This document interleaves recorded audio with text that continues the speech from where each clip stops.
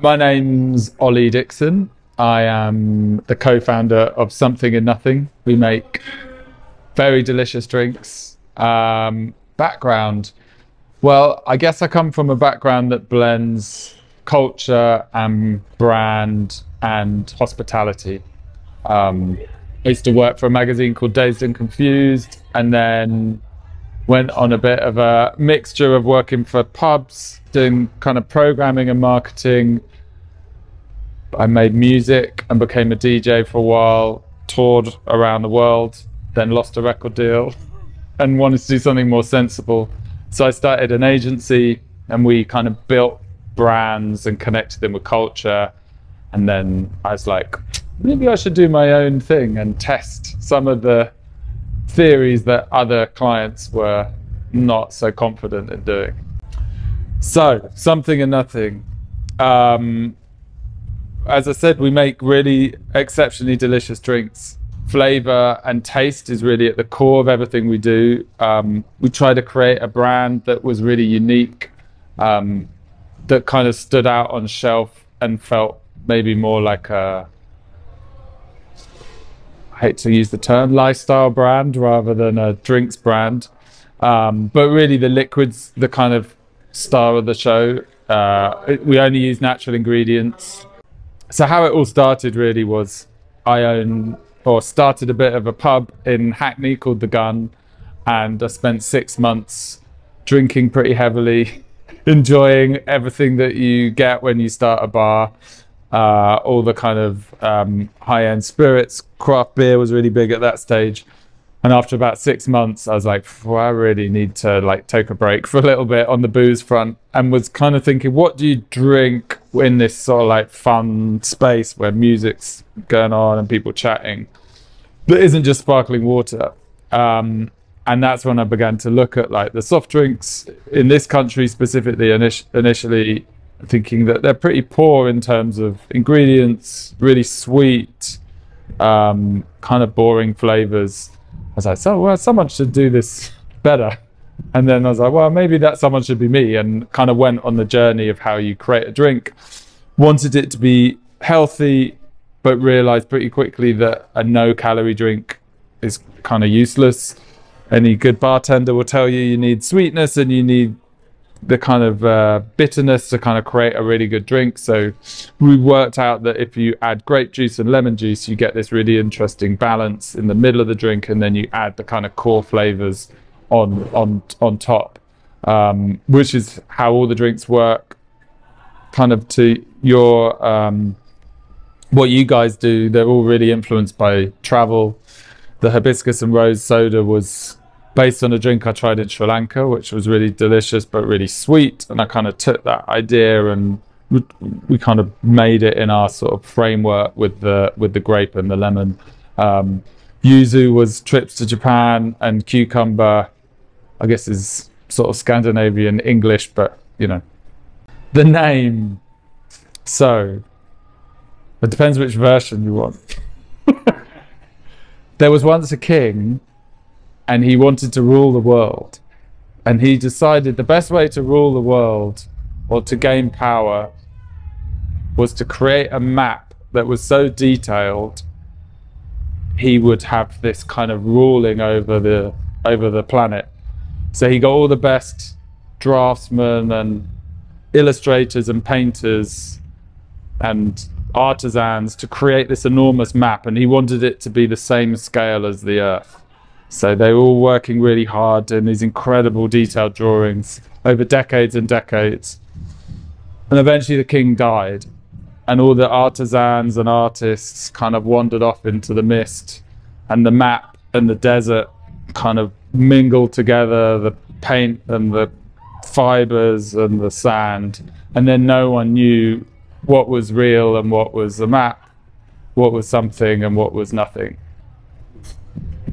that could also be the premise to the Matrix, but so my personal favorite is the cucumber soda with mezcal, um, with a little bit of probably a little extra squeeze of lime, a tiny bit of salt. is really delicious, um, and then the spritz is kind of where all this was born out of. We realized we wanted to create an alcoholic version hence the name something and nothing, the scales, etc. But I like drinks that taste how they should taste, like how a bartender would make them. So when you're using spirits in a premix can, it's a bit problematic because often to get that strength, you have to have a tiny can or like you muddle it around. And it, yeah, so you take a gin and tonic in a can, it kind of tastes, doesn't taste as good as if you make it at home or with a bartender. So we wanted to use alcohol that you could use at full strength. So that's why we went down the spritz route. So the we got two made with French wine from uh, a fifth generation wine producer in the Côte de Gascogne. It's pretty good quality wine. And then that's mixed with our natural ingredients, botanicals, so on and so forth. And then this is the new one, which is the sake spritz, which again, sake 15%. So it mixes really well with the water and the natural ingredients to make a 15% drink. So that is convenient to have it in that form. And I guess, yeah, they're made in a way that you know you would make it uh, in a bar or or at home. And then yeah, the sodas are pretty versatile. The a lot of um, there's a bar called Top Cuvée, which I'm sure you know. Uh, they make a Paloma with our hibiscus of rose, uh, just a massive chunk of um, uh, grapefruit in there, and then the yuzu makes a really good highball. Actually, if you mix it with um, again, I would a good Japanese whiskey, kind of massive ice cube, no garnish. Yeah, it's really delicious. You get the the citrus working well with the with the whiskey.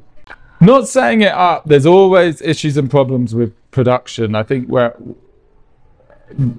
someone said to us once, you know, they were like, you know, you're you're essentially manufacturing something, you're creating something. You're always going to have issues and we certainly had quite early on. We had a massive issue with our first run of hibiscus and rose. They were we basically made kombucha um, unintentionally, but made were exploding cans, all sorts of stuff. We kind of got through that and thought, well, well, that's it now. We won't have anything else. But probably most production runs there's some there's something you, you know pretty small these days because we're a bit more experienced.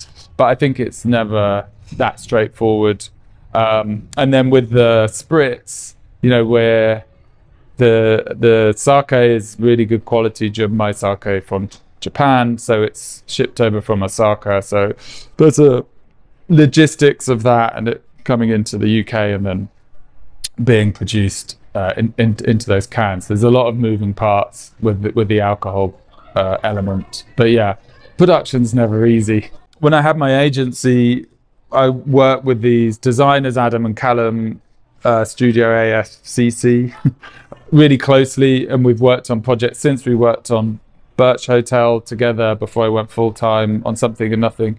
Um, and yeah, we we kind of spent quite a few months sharing loads of like references and ideas, and and the whole point was really to create a drink that didn't look like a drink. Um, I think the first trade show we went to some like old dude from the industry was like, you got a cucumber drink, but you haven't got a picture of cucumbers on the front. Like, what are you thinking? You need to show the consumer what's in there. And our thing was like, yeah, but we kind of gives the essence of what we think the drink does. Like we always say, it's like jumping in a pool or summer in a can or whatever. Like that, I think, uh, particularly in the FMCG world, people don't give much respect to consumers. They kind of think they're all dumb and like you just have to hit them over the head with all the kind of basic information. Whereas our philosophy is a bit more like people, you know, love products and love really good products, love good ingredients, love good brands. So if you put some love and some thought into it, then they tend to respond uh, in in that way. And that's what we've found really is that we have, you know, we don't really spend any money on marketing. It's all kind of organic. We're now launched in the US, and the amount of people who share photos of the can or them with the can, and you know, always, or nine times out of ten, really good reviews about the liquid. So yeah, it was kind of a risk, I think. And if we were owned by Britvic or whatever, there's no way we would have got away with it. A kind of weird name and a kind of very minimal design, but it works really well. Like I said, taste is kind of our most important part of the of of of something and nothing of what we offer. And we're really fortunate that we've won a great taste award for all of our drinks, except for this one because it's brand new. We were here in August. Um, but as far as I'm aware, I think we've won more great taste awards than any other drinks brand, and I guess that is the point with all of this: is there's nothing kind of gimmicky. It's built out of love of drinks and flavor and hospitality industry and brands and culture and all that stuff is kind of piled into this. Um, so uh, so yeah, I you know we we don't skimp on on quality of ingredients. They're all really great quality natural ingredients, and then the alcohol, as I said, is is is really good quality. Uh, the French wine and the Japanese sake. So yeah, we're really this is like our kind of difficult second album. the sodas do really well. This is like our kind of jazz techno fusion album. We're kind of waiting for people to kind of make it take off. Um, but uh, yeah, the, like this summer so far has been really, really interesting and really good that it's getting such a good reception.